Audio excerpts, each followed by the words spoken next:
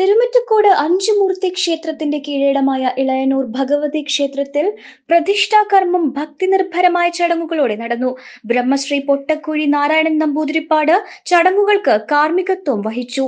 പ്രതിഷ്ഠയോടനുബന്ധിച്ച ഭക്തജന സദസ് Malabar Devaswom board president M R Murali ഉദ്ഘാടനം ചെയ്തു. ക്ഷേത്രങ്ങൾ നാടിന്റെ ഐശ്വര്യമാണെന്നും നാടിന്റെ കേന്ദ്രങ്ങളായ ക്ഷേത്രങ്ങളെ കാലാകാലങ്ങളിൽ നവീകരണം നടത്തി ചൈതന്യത്തോടെ നിലനിർത്തേണ്ടത് നാടിന്റെ ആവശ്യമെന്നും അദ്ദേഹം പറഞ്ഞു. പുനരുദ്ധാരണ കമ്മിറ്റി പ്രസിഡന്റ് രാവുണ്ണി അധ്യക്ഷനായി. തിരുമിറ്റക്കോട് ക്ഷേത്രം മാനേജർ പ്രസന്നകുമാർ സ്വാഗതവും പുനരുദ്ധാരണ കമ്മിറ്റി സെക്രട്ടറി കൃഷ്ണൻകുട്ടി നന്ദിയും പറഞ്ഞു.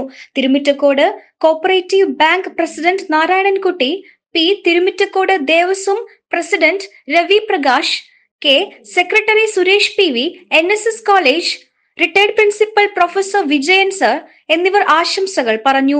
തുടർന്ന് ക്ഷേത്രശില്പികളായ ചന്ദ്രൻ കല്ലുവഴി സുനിൽ പിലാക്കാട്രി രാജൻ ചെട്ടിപ്പടി ശിവദാസൻ ഇരുങ്കോറ്റൂർ എന്നിവരെ ചടങ്ങിൽ ആദരിച്ചു.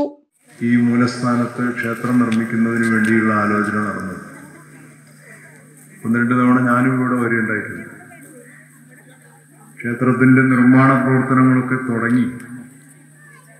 വളരെ വേഗത്തിൽ ഏതാണ്ട് യുദ്ധകാലടിസ്ഥാനത്തിൽ എന്നൊക്കെ പറയാറുണ്ട്.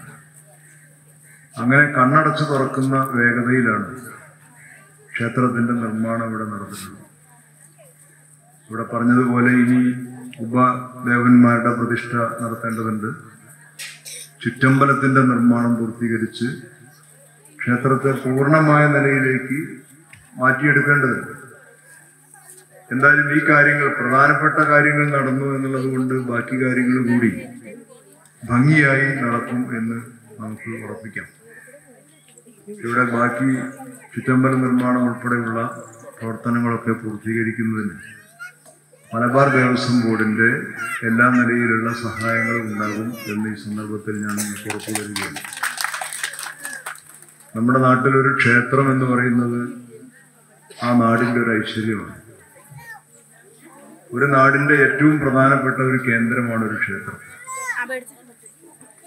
നാട്ടിലെ മുഴുവൻ മനുഷ്യരും വിശ്വാസികളും അല്ലാത്തവരും ഒക്കെ ആരാധനയോടുകൂടി വലിയ ആദരവോടുകൂടി കാണുന്ന ഒരിടമാണ് ക്ഷേത്രം.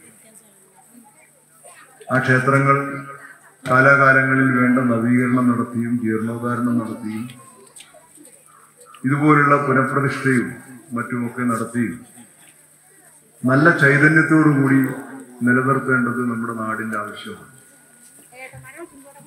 ഇന്നിപ്പോ നിങ്ങളെല്ലാം ഇവിടെ ഈ ക്ഷേത്രത്തിന്റെ പ്രതിഷ്ഠാ ചടങ്ങിലേക്ക് വന്നത് ഒരേ ഒരു വികാരത്തിലാണ്. ഭക്തിയും വിശ്വാസവും ഒക്കെ ചാലിച്ച് നമ്മുടെ സന്തോഷവും നമ്മുടെ സങ്കടവും നമ്മുടെ എല്ലാ വികാരങ്ങളും ഭഗവതിയുമായി പങ്കുവയ്ക്കാനാണ് എല്ലാവരോടും എത്തിയിട്ടുള്ളത്. മധുര പതിനേഴിന്റെ മായാ കപ്പലിൽ മധുര സവാരി ചെയ്യുന്ന മധുരാംഗികളുടെ മനസ്സുകളിൽ മാനം കാണാത്ത മകിൽപീലി തുണ്ടുപോലെ സൂക്ഷിച്ച മായാത്ത മോഹങ്ങൾക്ക് മധുരിമ പകരുന്ന പാലക്കത്താലി നാഗപടത്താലി അന്തോണിക്കാതിലെ തലക്കാതിലെ കണിക്കാതിലെ വൈരക്കാതിലെ അരത്താലി മണിത്താലി മാങ്ങാത്താലി പൂത്താലി മങ്കത്താലി ഇളക്കത്താലി കരിമണി താലി മുതൽ ആലിലെ താലി വരെ. പെണ്ണണിയും പെണ്ണിനെ അണിയിപ്പിക്കും. പെണ്ണാഗ്രഹിക്കും പെണ്ണിനെ ആഗ്രഹിപ്പിക്കും പെണ്ണ് കുതിക്കും പെണ്ണിനെ കുതിപ്പിക്കുന്ന കനക ഘടകാഭരണങ്ങളുടെ കമനീയ ശേഖരവുമായി പട്ടാമ്പി പട്ടണത്തിന്റെ കനക കൊട്ടാരം. Manukkas gold and diamonds Manukkas tower railway over ബ്രിഡ്ജിന് സമീപം മെയിൻ റോഡ് പട്ടാമ്പി.